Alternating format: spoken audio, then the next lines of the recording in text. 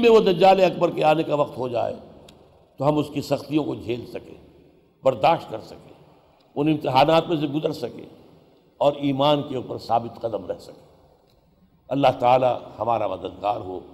اقول قولی حاضہ وصطفر اللہ علی ولکم ولسائر المسلمین والمسلمات۔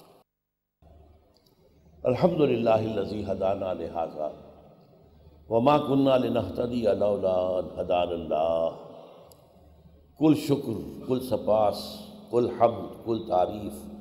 اس اللہ کی ہے جس نے ہمیں ہدایت عطا فرمائی۔ اور ہم ہرگز ہدایت یافتہ نہ ہو سکتے اگر اللہ ہی ہمیں ہدایت نہ دیتا۔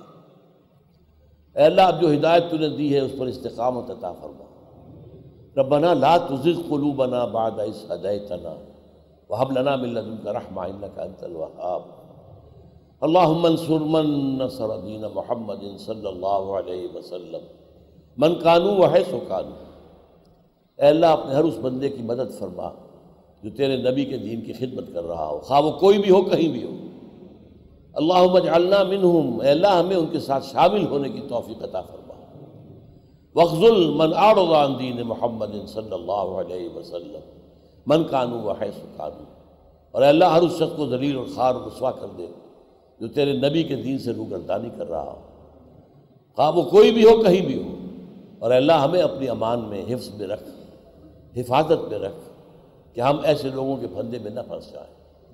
ربنا تقبل منا انك انت السميع العليم وتب علينا انك انت التواب الرحيم اللهم اغفر لنا ولآبائنا ولأمهاتنا ولجميع المؤمنين والمؤمنات والمسلمين والمسلمات۔